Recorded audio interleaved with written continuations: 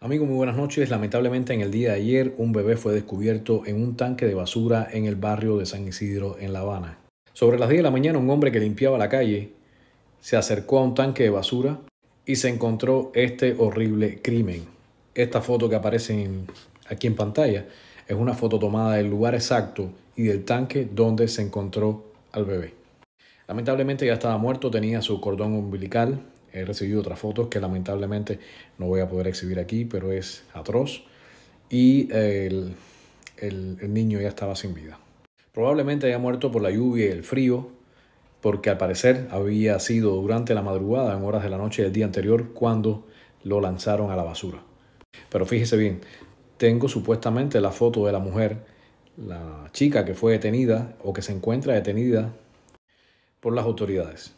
Alegadamente, la joven que aparece en la foto, Melissa Navarrete, es la chica que está involucrada en este horrendo asesinato. Los hechos ocurrieron en la calle Habana, esquina San Isidro, en el barrio de San Isidro, en La Habana Vieja. Lamentamos este horrible hecho e instamos a las personas y sobre todo que eduquemos a la juventud y a cualquier persona que se pueda encontrar desesperada ante una situación de un hijo indeseado que lo den adopción, que lo regale. Hay muchas personas que están lamentablemente incapacitadas para tener un nene sin embargo, con mucho gusto lo aceptarían sin importar el color, raza, origen y cualquier otro tipo de estereotipo. Quiero recordarle a muchas personas que es vida desde el mismo instante en que se procrea y que es abominable y un horrible asesinato el hecho de abandonarlo a su suerte. Cualquier entidad caritativa, incluyendo a las iglesias, sería capaz de adoptarlo y recibirlo con mucho gusto. Y tengo que admitir que lamentablemente este tipo de situación se ha hecho muy recurrente en los últimos tiempos, en los últimos años. No es el único caso, no es aislado y se ha dado con bastante frecuencia. La pérdida de valores en una sociedad que va cada día más en decadencia, sumidas en la pobreza, en la miseria, en el hambre y en la desesperación, provocan hechos como este.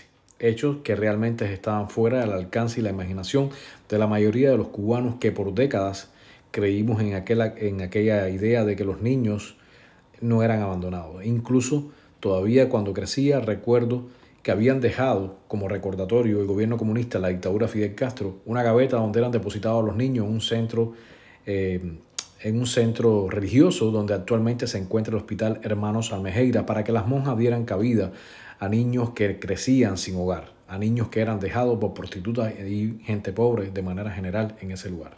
Y aún así, en esos tiempos la sociedad era mucho más humana que la Cuba que se está viviendo ahora. Joven, si tú me escuchas, no cometas este crimen, dalo una adopción. Regálalo, nadie te va a juzgar.